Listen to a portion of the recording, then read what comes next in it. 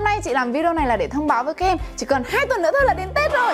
Và có rất là nhiều bạn nói với chị rằng Chị ơi em chỉ còn học một tuần nữa thôi là được nghỉ. Yeah! Và để hòa chung vào không khí này thì hôm nay chị sẽ hướng dẫn các em làm một món ăn liên quan đến ngày Tết. Nhắc đến ngày Tết thì các em sẽ nghĩ đến các món ăn quen thuộc như là bánh tết, bánh trưng và các loại mứt. Ở Việt Nam thì ờ, mứt rất là đa dạng Như là mứt dừa, mứt gừng, mứt bí và mứt hạt sen nữa. Nhưng không chỉ có ở Việt Nam có mứt mà ở các nước khác cũng có mứt luôn. Điển hình như là nước Nhật, nhưng loại mứt của nước Nhật thì hơi khác so với mứt của Việt Nam một chút xíu. Bây giờ chị sẽ cho các em cùng xem nhé. Và đây chính là mứt của nước Nhật. Chắc hẳn là nhiều bạn đã nhìn thấy nó quen thuộc rồi đúng không? Bởi vì ở shop của chúng ta có loại này Và nó có tên gọi là kẹo cuộn táo xanh và kẹo cuộn dâu đỏ. Tuy nhiên, ở bên Nhật thì người ta không gọi như vậy, Mà người ta gọi là mứt táo và mứt dâu. Bây giờ chị sẽ mở ra cho các em xem bên trong của nó như thế nào nhé. Nhắc đến đây thì chắc hẳn là các em đã biết hôm nay chị sẽ hướng dẫn các em làm món gì rồi đúng không? Và đó chính là mứt.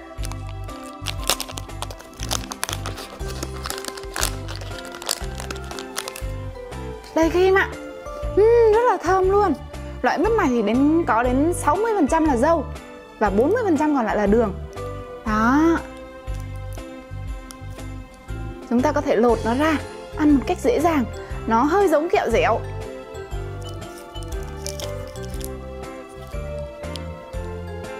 Và việc làm một loại mứt từ dâu, táo thì nó sẽ cho chúng ta cảm giác là hơi chua chua ngọt ngọt và ăn không bị ngán. Không giống như các loại mứt ở Việt Nam thì thường là chúng ta chỉ cần ăn một hai miếng thôi chúng ta đã cảm thấy ngọt quá và ngán quá rồi. Uhm. Loại này chúng ta ăn đến đâu thì gỡ ra đến đấy. Hoặc là có thể ăn theo cách này.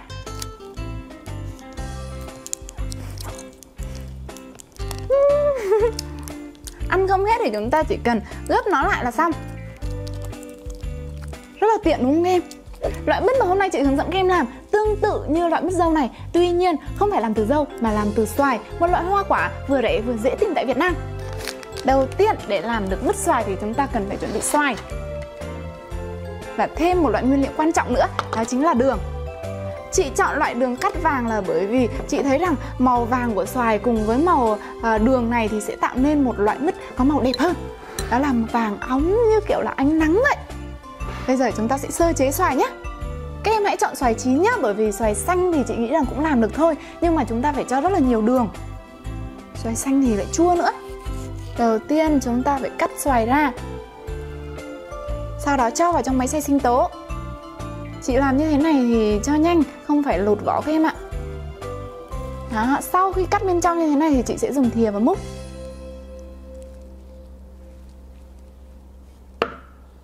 Rất là đơn giản đúng không các em?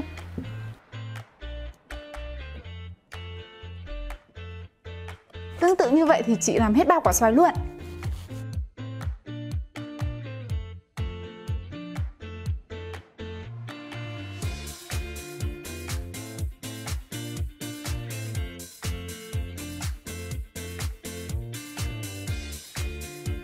Sau khi cắt xong thì các em hãy đem xoài đi xay.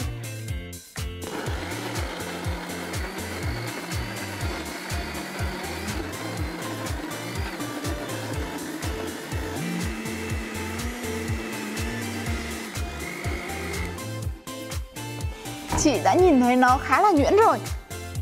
Công việc tiếp theo của chị đó chính là lọc xoài.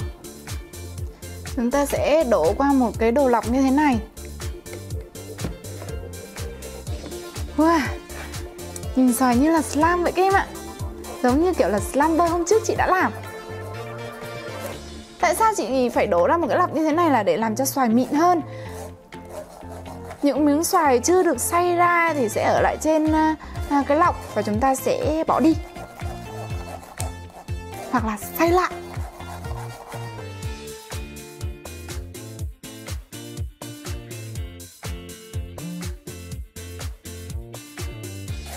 Xoài thì rất là mềm, xay một tí thôi là đã mịn rồi.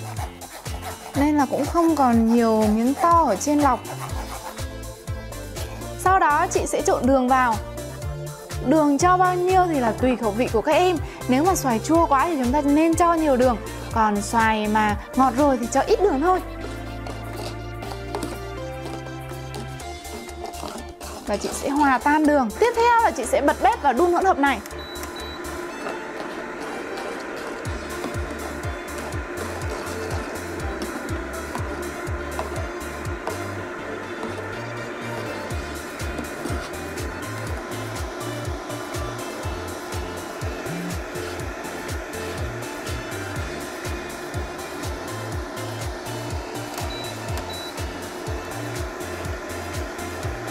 Chị sẽ đun cho đến khi hỗn hợp sệt lại.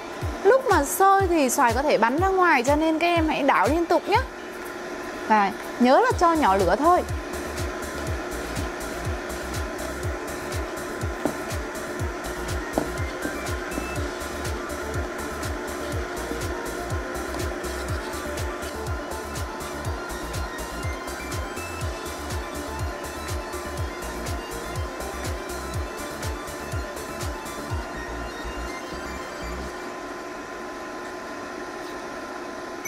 Thực ra để làm được mứt xoài thì chúng ta chỉ cần khuấy cho đến khi đường tan mà thôi. Còn việc chị bảo các em nấu lên như thế này là để rút ngắn thời gian chúng ta sấy mứt. Sấy mứt là bước tiếp theo. Hỗn hợp xoài vừa đun xong thì các em hãy để ra ngoài một tí xíu để cho nguội. Sau khi nguội thì các em hãy đổ vào một cái khay. Ở phía dưới cái khay này thì có lót một lớp giấy nến hoặc là giấy bạc. Giấy bạc thì rất là dễ mua, các em có thể mua ở siêu thị hoặc cửa hàng tạp hóa. Còn giấy nến này thì hơi khó mua một chút xíu. Nếu mà bạn nào thích sử dụng giấy nến à, để khi ăn dễ dàng hơn thì các em có thể đặt mua ở trên mạng.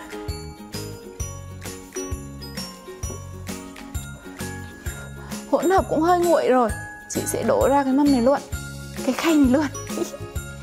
Wow, nhìn rất là đẹp đúng không em? Vô cùng hấp dẫn.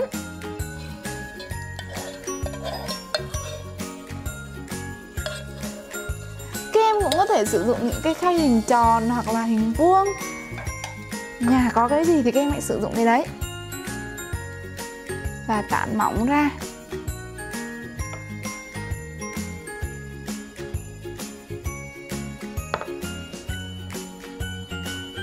Không thì các em cũng có thể sử dụng cả cái đĩa của nhà mình cũng luôn cũng được.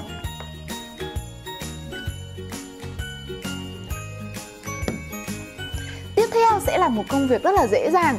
Nếu nhà bạn nào có lò nướng thì chúng ta chỉ cần cho cái khay này vào trong ờ, lò nướng để nhiệt độ khoảng là 70 đến 80 độ C trong khoảng thời gian 2 đến 3 tiếng đồng hồ là chúng ta đã có được món mứt xoài. Còn nhà bạn nào mà không có lò nướng thì các em hãy chọn một nơi nào đó có nhiều ánh nắng mà không có bụi, Sau đó đem ra phơi một ngày thôi là mứt xoài của chúng ta đã làm xong Ừ, lúc đó thì rất là thơm. Chị cũng đã chuẩn bị sẵn một cái khay Trong đấy có mứt xoài đã được sấy ở trong lò nướng từ 2 đến 3 tiếng rồi. Bây giờ chị sẽ lấy cho các em cùng xem nhé. Và đây là sản phẩm của chúng ta sau khi đã phơi nắng một ngày Hoặc là cho vào trong lò nướng khoảng 2 đến 3 tiếng đồng hồ. Các em nhìn này, chị đã lấy ra khỏi khay. Đó. Nhìn rất là bóng đúng không em? Đồng thời nó cũng có vẻ như là mỏng hơn khi mà chúng ta mới cho vào bởi vì hơi nước đã bay lên bớt rồi bây giờ nó mỏng lắm tiếp theo chị sẽ lấy thêm một lớp giấy nến nữa và phủ lên bên trên. Bộ món mứt này.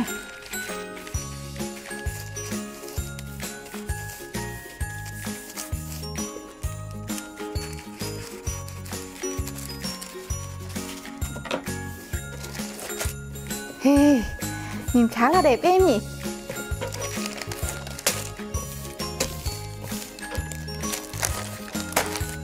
Bây giờ chị sẽ cắt ra một miếng dài.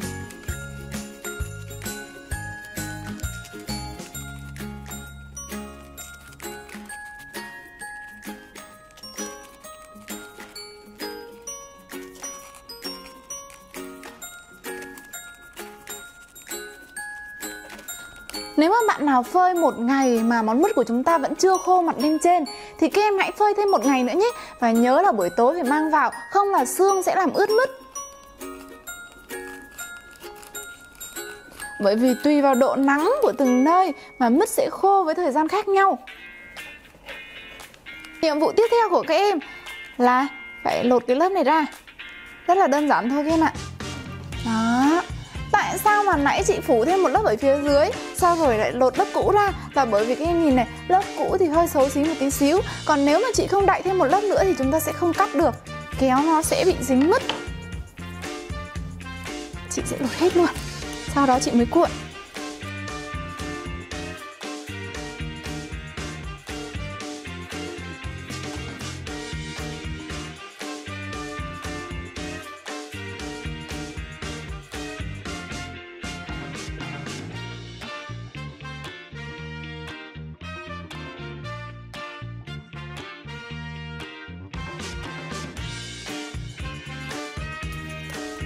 Sau khi lột xong rồi thì chúng ta sẽ cuộn mứt lại.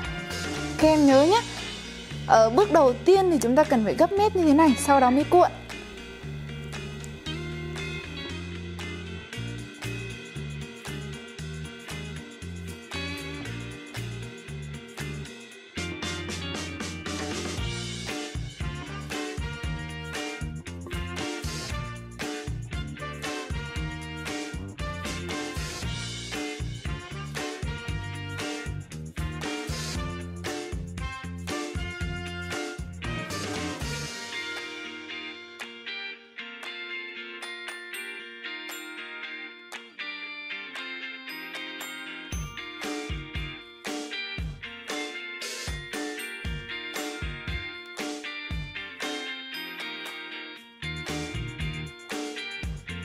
Đây là mứt táo à, mà chị đã lấy ở trên shop về. Còn đây là mứt xoài mà chị vừa làm.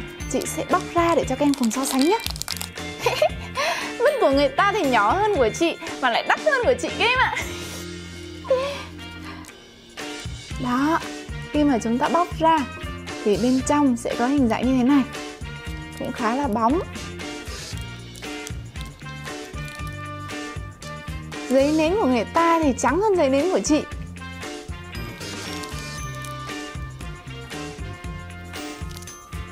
Còn đây là mứt mà chị vừa làm Chị sẽ lấy.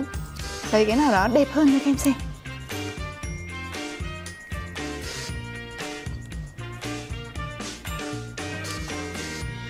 Chị làm miếng mứt này khá là dày. Bởi vì sao chúng ta làm cho chúng ta ăn thì phải chất lượng nhỉ uhm, Nó rất là dày và đẹp đúng không em? Nếu mà các em phơi càng lâu thì mứt sẽ càng dai càng ngon.